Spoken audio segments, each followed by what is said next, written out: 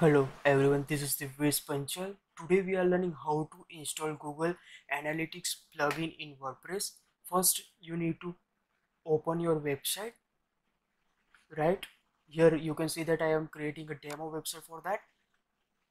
Just need to create a Google Analytics account and you can uh, simply sign into your google account.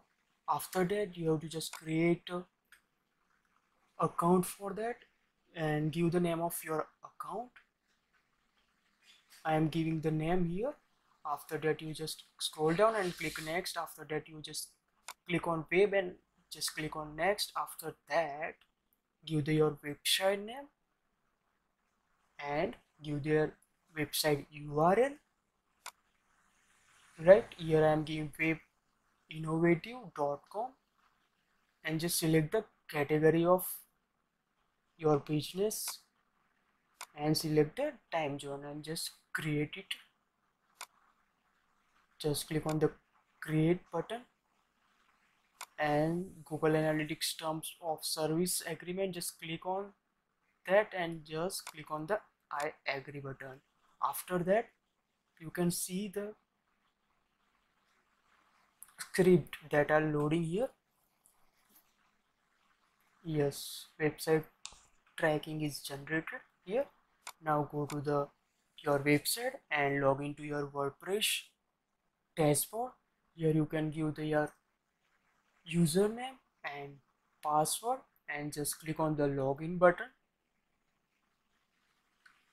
Just click on the login button and you, you see the dashboard of your google just go to the plugin section and click on the add button. Right here you need to find the google analytics plugin. It's called sitekit by google. It is providing google analytics here. Just click on the install. It is taking some time to install in your wordpress website. After that you have to active it through clicking on the active button. Just active it. Now you can see the google kit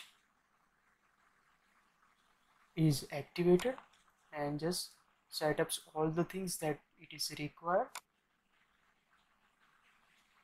Sign in with the google account. It can be verified in some time.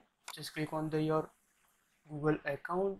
That is you are using for Google Analytics and just allow it.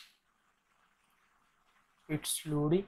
Now welcome to the SiteKit. Congratulations. Go to the my dashboard. Now you are going to the dashboard of SiteKit. Just go to the analytics connect service. Now it is set up automatically. Just select the gmail account for that just allow it. Now you can see the procedure. Now it's connect the service of analytics of google. Just select account. Just connect it. Mm, it's taking some time and it will be activated. Now you can see it is a connected with a Google Analytics account you go to the option of analytics and you can see here also the analytics data of your website in some time. Now you go to the Google Analytics of Google and just you can check the audience you can check the users that are active on your website. You can see the real-time google analytics here also. So real active users we need to just check it out. Just need to copy and paste the url of my website to the firefox and just click on the enter button. Now my website is loading in my in uh, yes it is loading and it, it can be active user. Here it is showing that you are active one users. Uh, it is working perfectly now. Thank you